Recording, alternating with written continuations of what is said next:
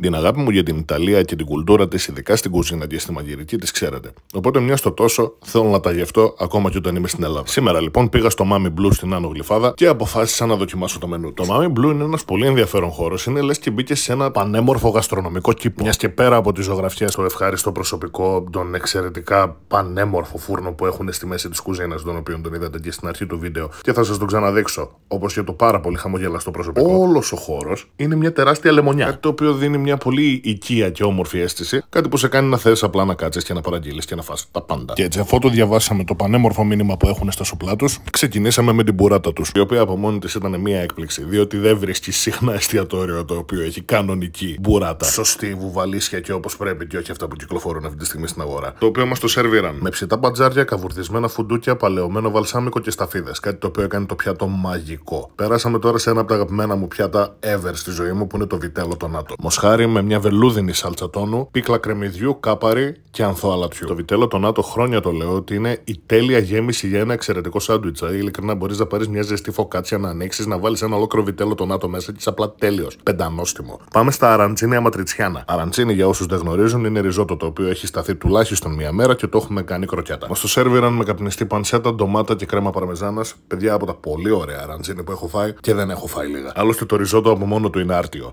Μετατρεπόμενο σε κροκέτα απλά γίνεται τέλειο. Λοιπόν, πάμε στην αγαπημένη μου στιγμή του δείπνου. Τα λαζάνια ροτόλο τους, τα οποία είναι φούρνο και είναι με ραγού μανιταριών. Παιδιά, παιδιά. Το ραγού μανιταριών, άμα ξέρεις να το φτιάξεις, είναι μια πανδεσία γεύσεων μέσα στο στόμα σου. Φανταστείτε το τώρα με μια εκπληκτικά ωραία και καλοφτιαγμένη σάλτσα ντομάτας και όλα τα απαραίτητα μυρωδικά για να δέσουν τέλεια αυτό το πιάτο. Παιδιά, αυτό το πιάτο θέλω όσοι πάτε να είναι το πρώτο πράγμα που θα παραγγείλετε. Και πάμε τώρα στην πίτσα. Πάει καιρός που έχω να φάω πίτσα Ιταλική και να μου θυμίσει η ζύμη όντως ότι είμαι στην Ιταλία. Για την ακρίβεια πάει πολύς καιρός. Εδώ δοκιμάσαμε τη Vitello Truffle Chip, η οποία είναι με την πολύ αγαπημένη μου σάλτσα Σαν Μαρζάνο, chips πατάτας και μαγιονέζα τρούφας, μοτσαρέλα φιόρντι λάτε και τσάι. Παραδοσιακή αγαπημένη ζύμη με μια μοντέρνα και θα πω ασυνήθιστη γέμιση, η οποία όμως έκανε το όλο σύνολο πάρα πάρα πολύ νόστιμο. Την προτείνω ανεπιφύλακτα και εννοείται ότι με ξέρετε, είχα ένα κενό, έπρεπε να δοκιμάσω και γλυκό. Οπότε πέρασαμε στο μπανόφι. Το οποίο είναι αυτή εδώ η ομορφιά που βλέπετε. Μπανόφι με κράμπλ αμύγδαλο, μπανάνα και καραμέλα. Ειλικρινά. Τι παραπάνω θες; Αν μέχρι το μέρος αυτού του βίντεο ήδη δεν ντύνεσαι με το άλλο σου μισό ή με τους φίλους σου για να πας να δοκιμάσεις, δεν ξέρω τι άλλο να σου πω ειλικρινά. Έχεις πρόβλημα. Λοιπόν, πήγαινε στο Mami Blow χθες